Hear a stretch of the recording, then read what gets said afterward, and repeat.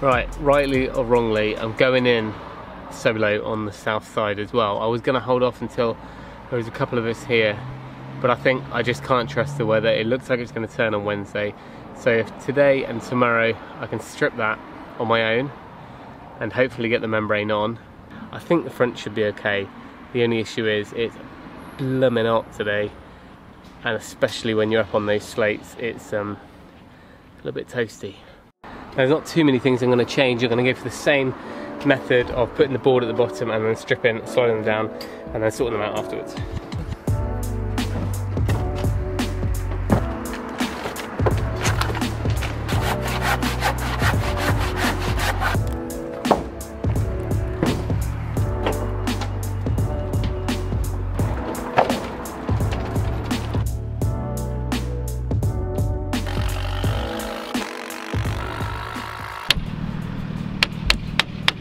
So for this side of the roof, I really wanted to cut down on that middle step of stacking all the slates at the bottom, then shifting them again, and then taking them down on the winch, and just that whole double moving everything.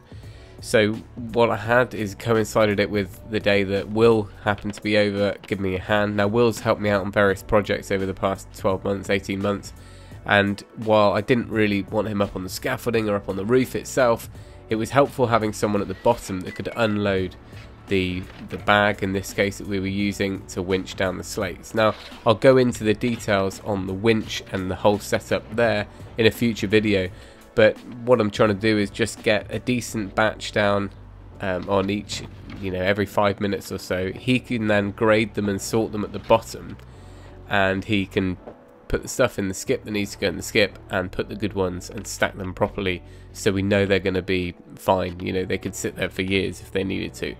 Um, but this side of the roof, it really went a lot smoother, although there was still only just myself up on the roof. Having someone at the bottom there uh, obviously sped things up.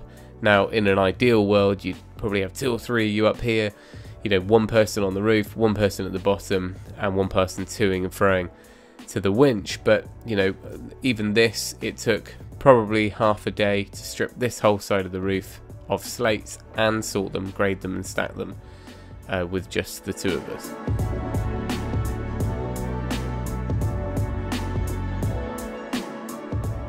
Now, I had endless comments saying that I was bonkers to be doing this alone in the last video, but rest assured, this was just that freak dry week that we had a couple of weeks ago, and at this point I've already membrane and battened the other side of the roof on the north side so I haven't stripped the whole thing in one uh, but we'll just put all the membrane footage in the next episode.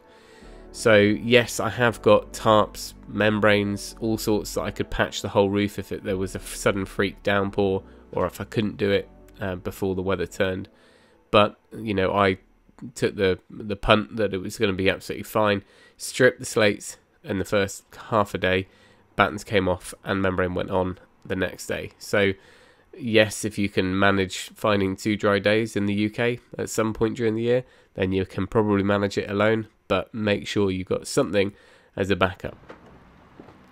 Now I will get asked, because I have already on Instagram, the winch setup I'll go into in some more detail in the future, but it's an inexpensive purchase rather than a hire um, and it's just worked really well. It was well spent money, and it's going to be really handy getting both the slates off the roof and down to the bottom, but also getting all the new gear back up. Uh, and it means also I can kind of work on my own if I have to. The Bumpa hoists or the conveyor type uh, setups, you definitely need someone bottom and top all the time whilst it's running. Whereas this, if needs be, I can you know send it down and then deal with putting grabbing all the stuff out of the bag um, when I get down there myself. Or I can get Joe when we get the slates up on the roof. Hopefully, Joe will be able to load it up down the bottom, and each evening we'll just do a couple of hundred slates and get them up that way. There are all sorts of buckets and hoist um, kind of crates. They're really expensive. They're at £200, more expensive than the winch itself. Um, so for this instance, I'm just going very small batches. I've lined the bottom of this um, bulk bag with a piece of plywood and just sitting them in them and carefully and, and winching them up and down.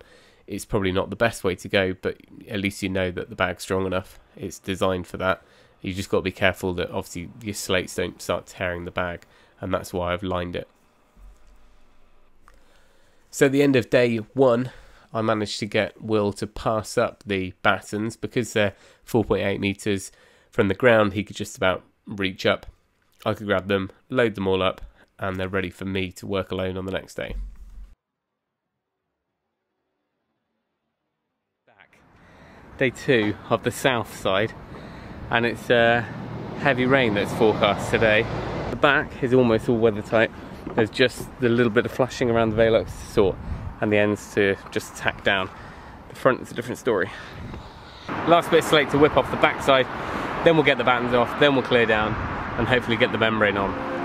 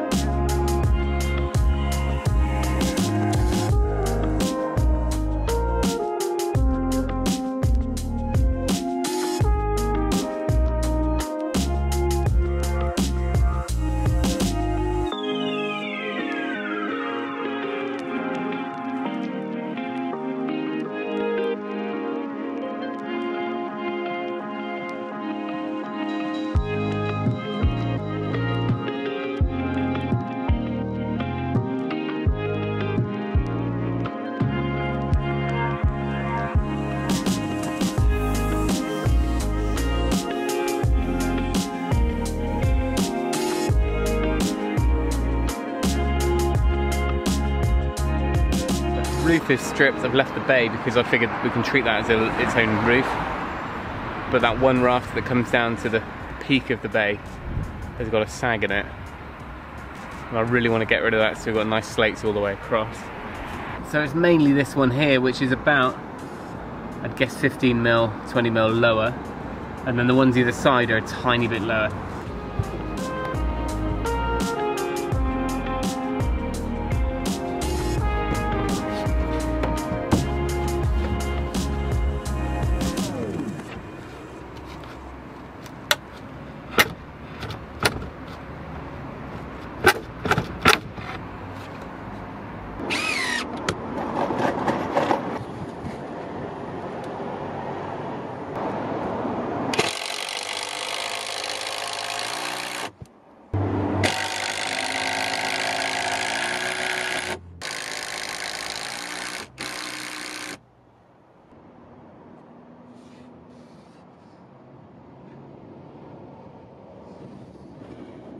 Right, just in the worst two, that'll just take the dip out a little bit.